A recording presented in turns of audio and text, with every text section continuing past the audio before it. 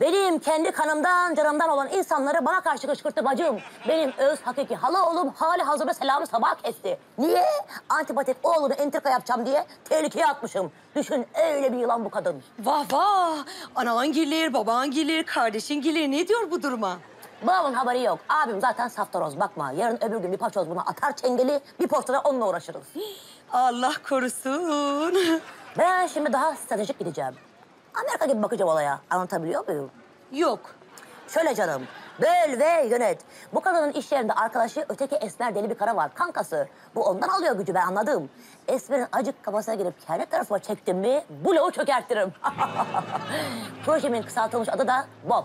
E, Büyük Orta Doğu Projesi. Hayır, böl o paçozları. Vallahi neokon gibi kızsın Nureyyan.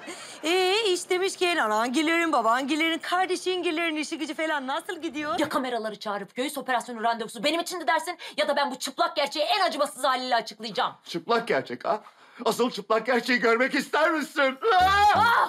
Ah! Ulu Tanrım! Al sana çıplak gerçek. Al sana. Ben buyum artık. Bir hilkat garibesi. Çağatay bayağı bunlar backup olmuş. Nasıl oldu bu ya? Bilmiyorum. Bir ucubeyim.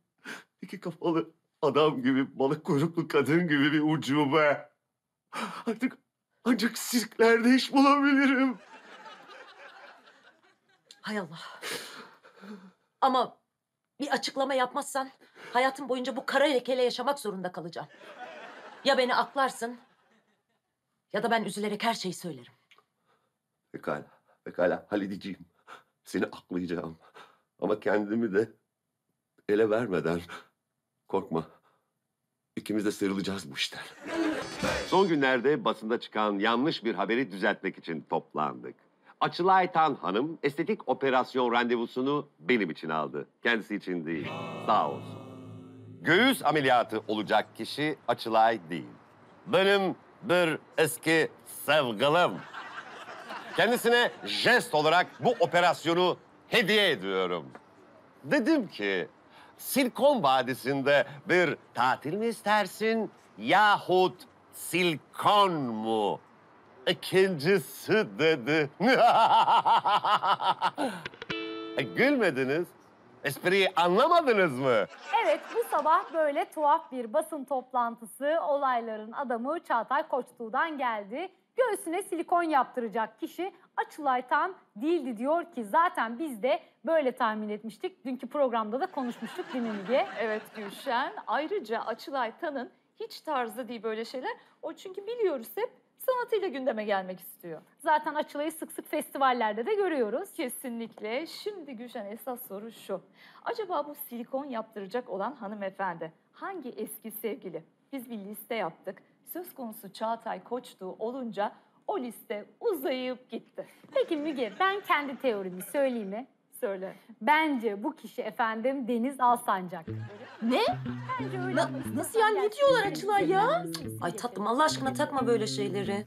Ayrıca gerilince burun deliklerin şişiyor hiç yakışmıyor.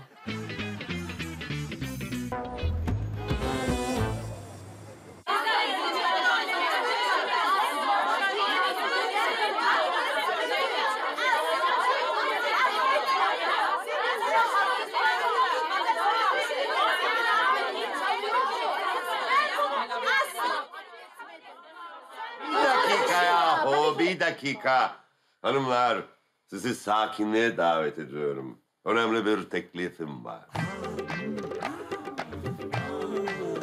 Birbiriyle alt alta üst üste kavga edecek varsa çekinmesin. Yıllardır bu kedi kavgasının hayalini kuruyorum.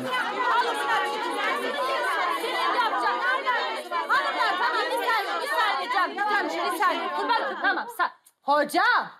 Affedersin ama artık sırtının kamburu çıkmış gözün hala çöplükte ha.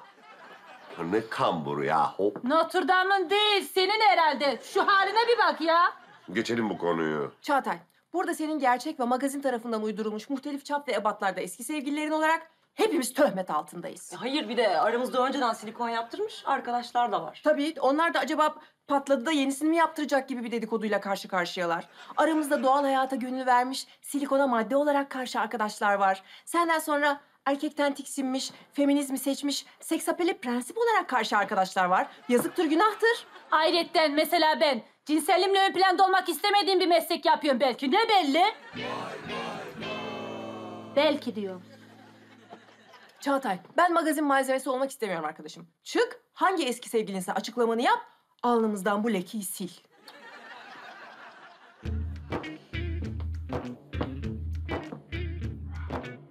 Benim çevrem çok rencide oldu mesela.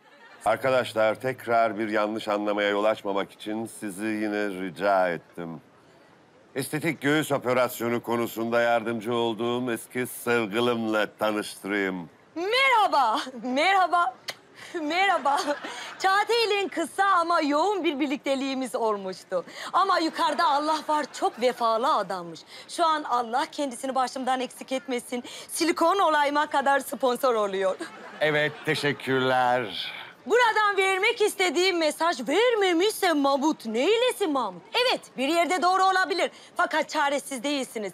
Tıpta her şeyin çözümü var. Hadi bakalım, sağ olun arkadaşlar, sağ olun. Bu arada ben kendim menajerim. Her tür nişan, düğün, sünnet, bekarlığa veda ekstralarınız için türlü türlü atraksiyonlar bir telefon uzaklığınızda. İsteyin oryantal yapan ip cambazı bulalım. Dileyin karnından konuşan çiğ köfteci getirtelim. Hayallerinize gem vurmayın. Teşekkürler. Dağılıyoruz.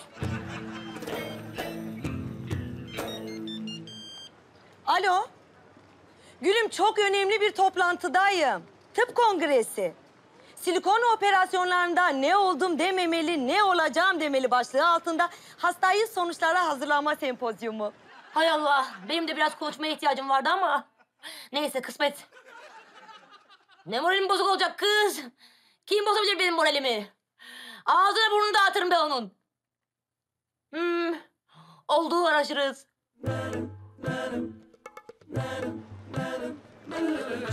Seninle çalışmak büyük zevk Çağatay abi. Kız peki. Affedersin. Nasıl büyüdü ki senin memeler? Yavaş yav. Aa! Bilmiyorum. Hayır ben yavaş konuşayım da gideceğin hastanenin doktoru var, hemşiresi var, hasta bakıcısı var, hasta yakını var, otoparkçısı var, kantincisi var. Anladık. Her şey çok gizli olacak. Merdiven altın Ali'ciğim. Riskli. Ama mecburum. Kanalımıza abone olarak tüm videolardan anında haberdar olabilirsiniz.